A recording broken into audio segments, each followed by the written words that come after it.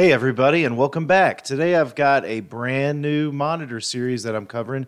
This is one I've never really talked much about before, and it is the N series of CRTs, and that's the PVM. Uh, specifically, we're looking at a 14N6U, but there are, of course, like N1Us and 5Us.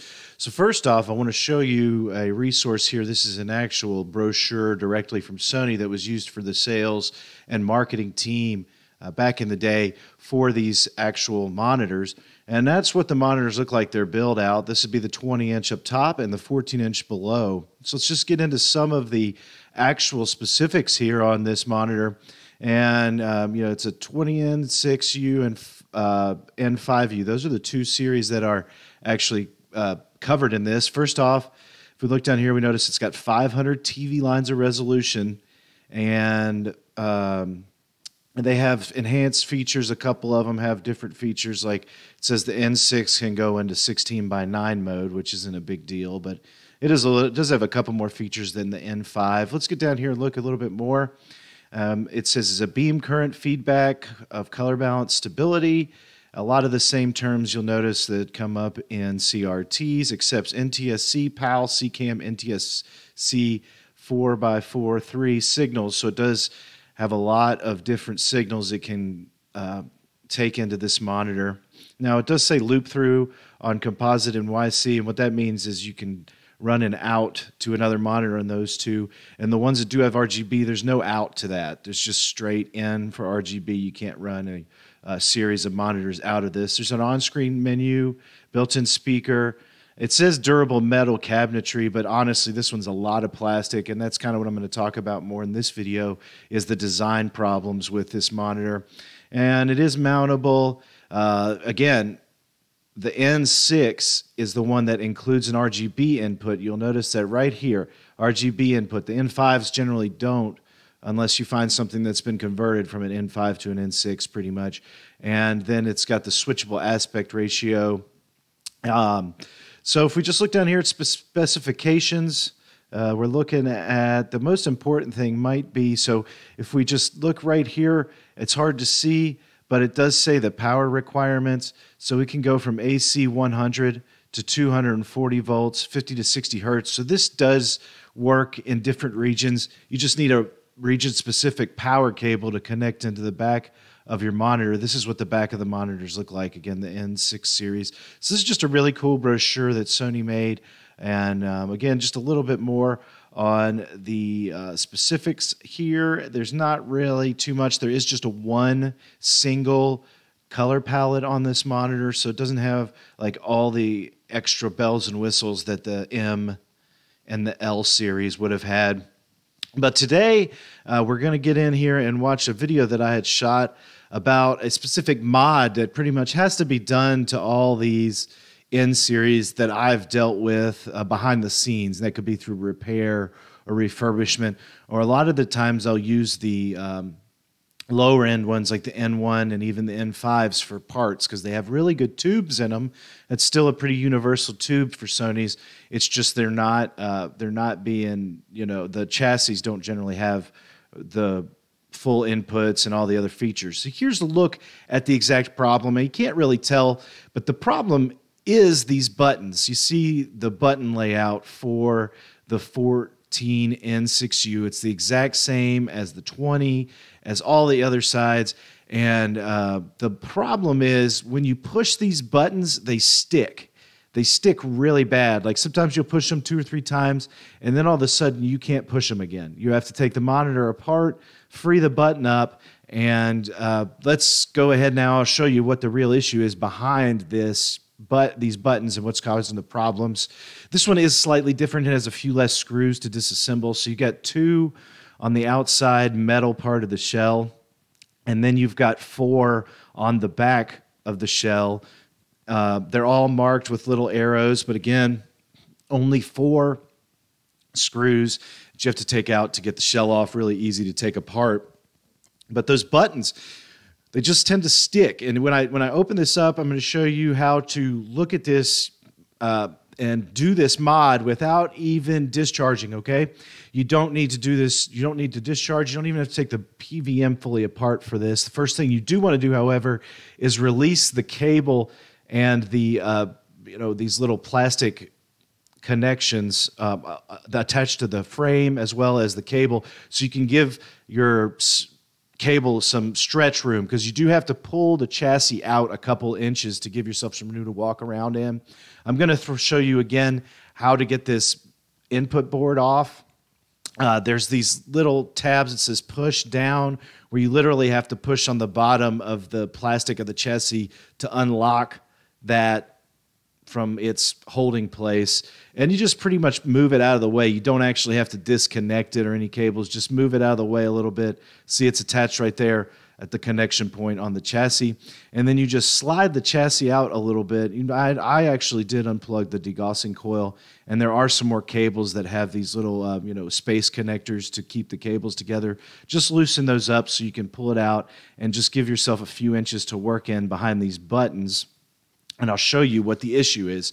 So this is a close look at these three input buttons. All the buttons are the same layout. I'm going to put some tweezers in here and try to show you the issue. So the issue is these buttons don't lay flush all the way. They have, you know, I don't know how far it is, but it's a pretty good amount of clearance under the button where uh, something could get stuck. And I'll show you what's getting stuck here. This button is supposed to be just a push tactile style button that the front buttons of the shell should be pushing into. But if we actually look at the back of the shell, the, the problem here is the combination of that button design where it's got that spacer right there between the board and the button, and then back at the back of the monitor or the, the actual shell, you see the button design from the inside, they're all one piece and it's cut out where it's using as little plastic as possible. So you really only have this tiny little lip with even the tiniest little uh, indentation or you know plastic right there that's that's supposed to be pushing that button. But what happens is, and I'm not sure if this is something that happens just over time, these buttons will actually swing over the uh, the that gap there, what happens is is that button, that little piece of that button right there that's supposed to be hitting the actual circle of the button, well, it'll get jammed under here, and then it's it's just pushing against the bottom of this uh, button, and it's not actually hitting the button. So then you're like pushing the button, nothing's happening, and it's not really like a huge problem, you know, as far as like technically, but it is it does cause a lot of issues because you can't use the buttons. So, but it's just a small mechanical problem and a little bit of a design feature problem. So, we're going to try to go in here and fix that with the easiest mod possible, and that's just going to require a little bit of good old fashioned uh, electrical electrician's tape, electrical tape. I like to cut the tape down and then you want to cut this into, you know, maybe four or five slivers. They got to be thin enough to fit uh, between that circuit board edge and the bottom of those buttons. I'll show you where we're going to put this in a second, but this is what we're going to use to kind of take care of this is just four or five strips of this tape. I'll show you what I do with this. To see, I just stack it up. The important thing again is that you cut that tape to where it's just wide enough that it pretty much doesn't go over the edge here. You want it to just sit under that button between the edge of the circuit board and the button. So you put layers of tape that way you build up a nice base under that that the buttons it, it forces those plastic buttons to not slide under there. It doesn't give them any room to so it actually keeps them pushed against the tactile buttons on uh, the circuit board. So again you just layer that tape up make sure you got a good like it's a four or five pieces should be enough and again, that doesn't cost anything to just use some of this tape. I did try, I did, wouldn't recommend other types of tape really, just because it's going to be more difficult to have it actually work and you know, you don't want to make anything conductive. This is a rough showing of a different monitor. This is a N5, okay? So it doesn't have a tube in it. It's just the chassis right here and the frame. And I wanted to get you a good shot so I could show you how I designed this from using this old frame just to try to figure out how to just fix this as easy as possible. Now this is really rough, this tape. It's just kind of stacked up in there, kind of like a rough cut or uh, testing. But it sits under there and again, it prevents those buttons from sliding under that uh, button on the main frame. So I'll show you. I'll push it in here, and it still fits in there nicely like that, okay? But again, it's going to keep those buttons pushed up to where they're always engaging that tactile switch whenever you're pressing it. It's not going to be able to then slip in between the button and the base of the circuit board. Pretty easy stuff. See, just right in there, and it's not again too tight where it's pushing and the buttons won't actually engage and it's not affecting the chassis or anything else in any other way. It's just creating a good uh, wedge against there to prevent it. So there again this is our main chassis that we are working on. And just to get it back together you just push it all in there make sure it lines up nicely. And it's really a good idea after that to test the buttons and make sure that they are you know very responsive and this is just huge difference. I mean they're they feel brand new now. You just hit them and they're going every time. So i'm really excited to see how it works but we reassemble the monitor really quickly for testing and i went ahead and just put everything back.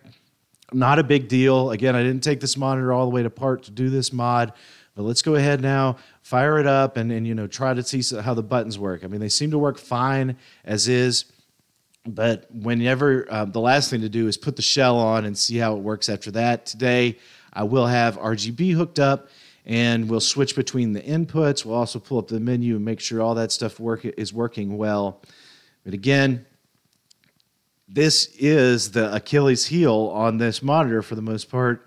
Uh, it's still a great monitor, but these buttons are just a terrible pain. So if you see any one of them that you come across and it says, you know, button problems or I'm having problems with the buttons, I just got this great monitor, I can't get the buttons to work because you need those buttons to use and get into the service menu for the most part too. Because this one does, although it only has seven buttons on the front, it has a full service menu that you can run calibrations through, and you need it. Uh, you need the buttons to be very responsive to be able to do that properly.